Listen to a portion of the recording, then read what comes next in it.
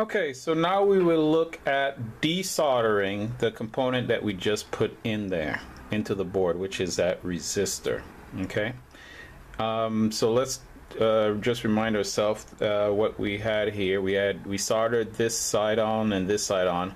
This side was the second side that we soldered on, by the way. And actually, I like the uh, connection that I made here on the second side better.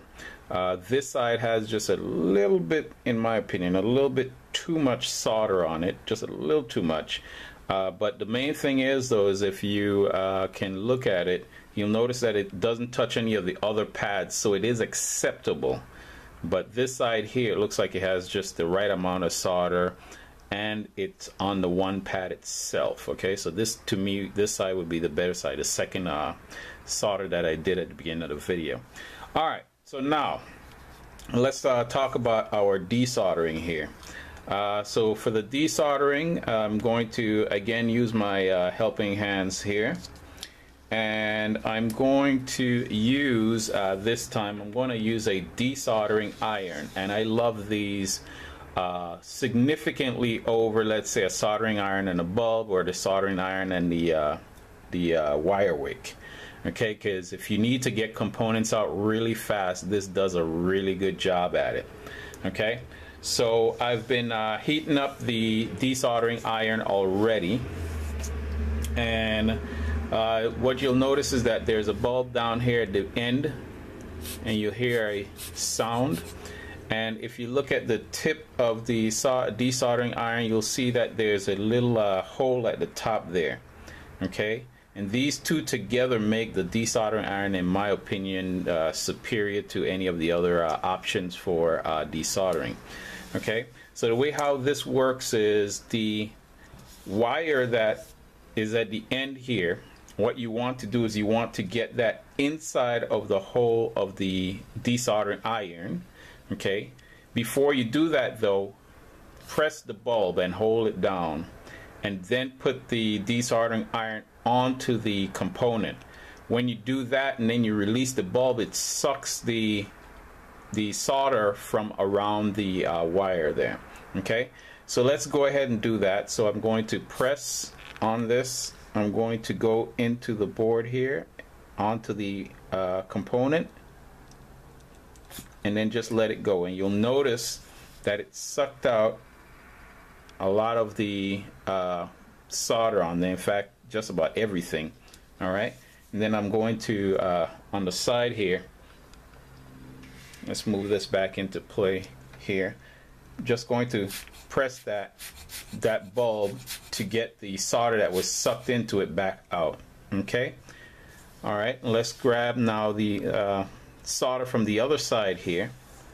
So again, I'm going to press the bulb, put the soldering iron onto the wire so that the wire goes into that hole and then just suck it up, suck up the solder. And then over here, I'm just gonna hit the bulb so that the solder comes out, okay? Let's put my soldering iron here on the side off screen and now that I've done that you want to be very careful here don't touch the actual component itself because it may still be a little bit warm. So I'm going to use some uh, needle nose pliers here. We should be able to pull the component out uh, out of the board at this point. Okay? And so there you see we uh, desoldered uh, that component. Okay so that's how you would desolder using the soldering uh, iron Okay, so let's say you don't have a desoldering iron. Well, you can also use a desoldering uh, wick or solder wick. Okay, and the way how this works is you take the soldering iron, you put the soldering wick on the component, then put the soldering iron at the top, and that heats up the uh, solder. And then the solder then goes in between the grooves of the soldering wick and gets sucked into that and then you cut off pieces at the end of the soldering wick when you're finished okay? So let's uh, look at doing that. So I'm going to connect uh, the board here onto this component and this is a different uh, component that I had uh, previously soldered on here okay?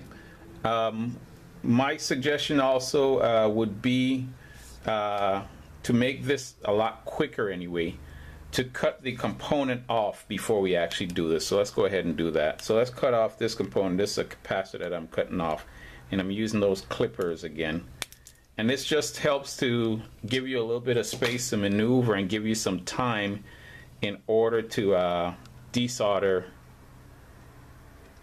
the component here quicker and not damage any neighboring parts. Okay. So we go ahead now, we take the wick, we put that onto the component here, the wires.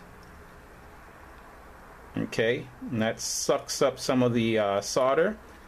And then we can just push on the wire through the top here and it falls right through. Okay, and then you'll take the solder wick again.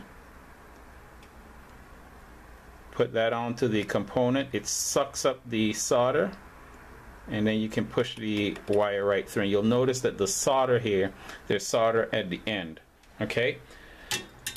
Once we've done that you can go to the other side and just pull on the wires that were uh, soldered in there okay? Alright so that's how you use a soldering uh, wick in order to desolder. And um, by the way like I said at the end you can just clip off the solder wick that was used okay?